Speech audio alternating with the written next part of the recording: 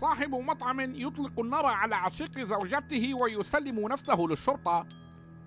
جورجي ليون صاحب مطعم من لكسنغتون ولاية كارولينا الجنوبية سلم نفسه للشرطة وهو الآن في الحجز بعد أن أطلق النار يوم عيد الحب.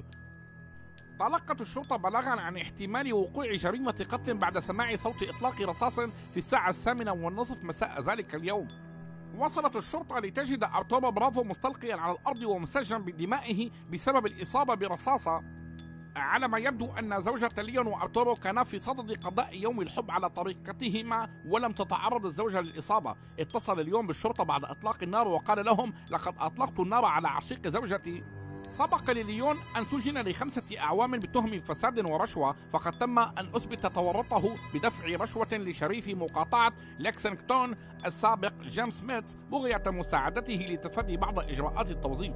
لقد تم الحكم على الرجل لتوظيفه 60 موظف غير شرعيين من المكسيك لكن تم الإفراج عنه لأنه تعاون في التحقيق.